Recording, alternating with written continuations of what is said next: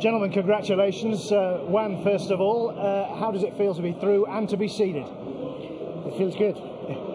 Um, I think second half was very good. First half, I have to say, they played very good. They made it difficult for us. We didn't get the rhythm. We didn't play good with the ball, uh, and they were good. Second half, we started much better. We changed a little bit the shape, which I think was good for us, and we scored nice goals. We are through, top of the group, so a happy night. Two goals for Mason Greenwood. He's some prospect, isn't he? He's got goal with himself. Any, every time he plays, he scores. In training, when we do games, he might not touch the ball a lot, but when he's in the box, he's he's a proper finisher. He's a killer in the box, and we are very happy for him. He's developing very well. Nice kid. Two goals in Europe, so very happy. Your first goal for a while?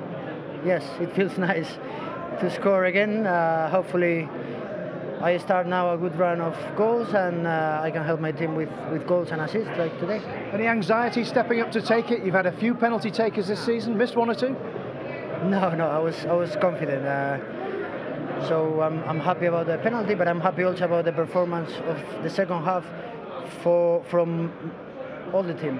It's not only the ones that scored, the, the whole team played very good. It's difficult when you're not playing a lot of games to get in the team and have the rhythm, but I think in the second half we showed that everyone can play.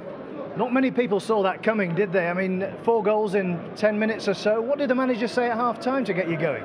No, that we have to press like a team. We have to press them more as a, and be more compact. Don't let them play so much because they're good on the ball, and, and it worked out well. Not just Mason Greenwood, but do you think a few of the youngsters step forward and prove themselves tonight?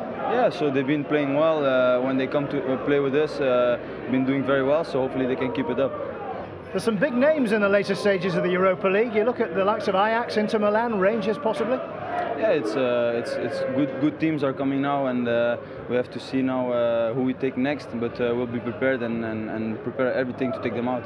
It's been some week for Manchester United, hasn't it? It's been nice.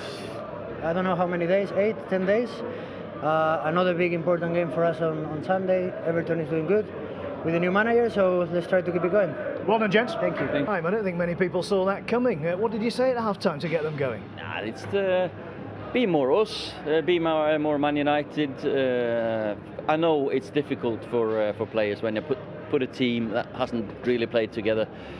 Uh, so second half we just found uh, the rhythm and more passes forward, runs forward, decisive, more pressing, and um, we got some um, great goals out of it.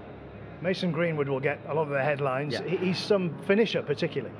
Yeah, different class as a finisher. I have to say, he's uh, when he's in and around the box, you you expect him to uh, get a shot off and on target because he's he's so precise in his finishing. He's uh, good on his the way he creates space for himself. Either right foot, left foot doesn't matter. So very pleased with his uh, performance.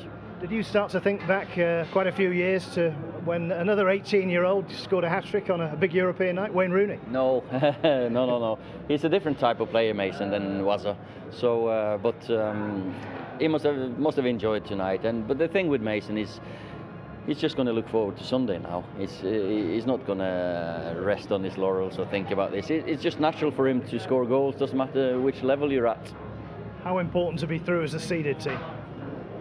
it was vital for us. Uh, you can have the second game at home. You might you, you play uh, a par- or uh, a team that's lower seeded.